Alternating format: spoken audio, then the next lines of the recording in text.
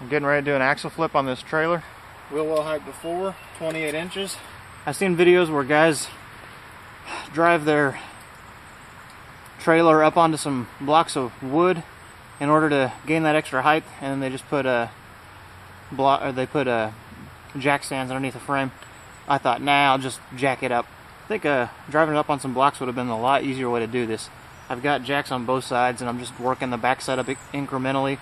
The front side is attached to the truck and I've got that three point uh, load distributing hitch so confident this thing's not going anywhere but just a little bit more work than it probably needs to be. Alright I got the back end up. I think it's high enough. Uh, all four tires are off the ground uh, three or four or five inches and uh, got double jack ends back here. I'm gonna go jack the front up now. I think I'm just gonna jack in the center up on the front that's gonna be my jacking point for the front. I think that'll work just fine. Next step remove all four tires. Alright there it is. Now I bought um, new leaf spring perches. They say you have to do that. Um, they say you can't just flip the axle over. And now especially since I'm looking at this thing I see why. The axle is not centered on the hub. The axle's way down here and the hub's way up here. So uh, you definitely can't just flip the axle over they also say there's an issue with uh, I forget if it, it's supposed to be caster or camber which doesn't make any sense to me but there's probably a lot of people who know a lot more about this than I do so alright this would have been the very first step if I could have got to all this stuff with the wheels and tires on here any bolt that I think I might potentially want to remove, I'm going to soak down in PB Blaster. Time to start removing the spring clamp plates.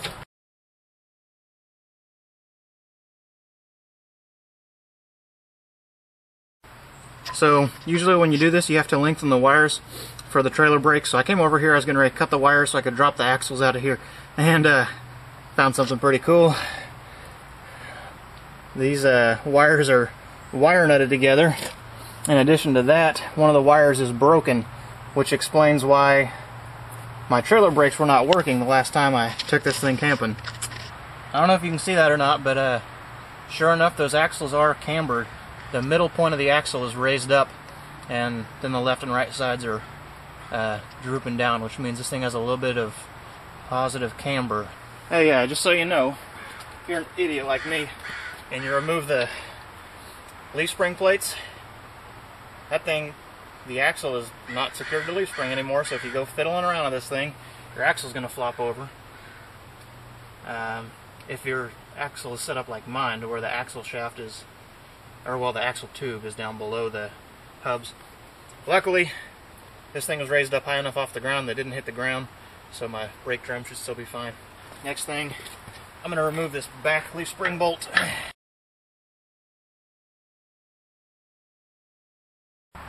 Alright, got the axle out. I just uh, lowered one in onto a little set of caster wheels and that's going to be my transport method. Time to take it in the garage and weld some new perches on. Alright, I got the uh, perch mocked up on this side. I'm getting ready to tack it on here. I thought about bolting everything back up on, under the trailer and then welding the perch on just to make sure I got in the right spot. But I really don't want to drag my welder all the way out there. Um, what I did is I used my inclinometer, measured the angle of the bottom perch. Um, this is a non-exact science, so it's pretty close. And then I'm just setting the top one at the same angle. Whoever welded this old, the old perches on here, uh, did a crappy job. They just got a cold weld. The weld on the other side broke, so I'll just have to use this side as a base for the other side. Not a big deal with this tool. That'll do. I already got the first axle back in there. This is axle number two. I went ahead and hit this with the wire wheel and painted it while it was out because it was totally rusty, as well as the uh, the U-bolts, the U-bolt plates, and all the hardware um, stuff was just totally rusty. And all the, the U-bolts and the plates and the hardware, uh, I soaked all that stuff in vinegar overnight. It didn't get all the rust off, but it got the biggest portion of it off. And uh, there's still some rust on here, but this thing was just totally caked in a like a really thick layer of rust. Uh, if I had let that vinegar set longer, it would have totally eaten away all this rust. And while this is not perfect, I had to go ahead and pull it so I could put it back together.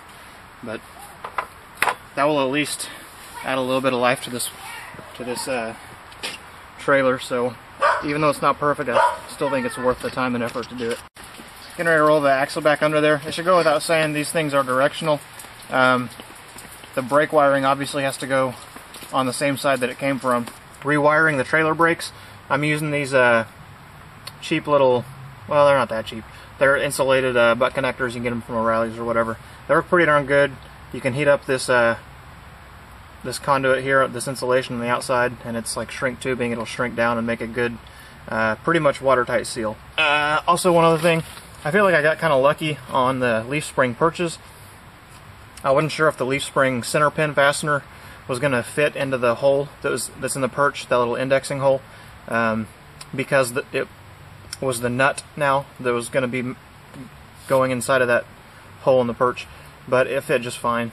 So if it had not, I would have had to pull the leaf spring center pins out and flip them around the other way, and uh, you could do that, just more work. All right, job is done.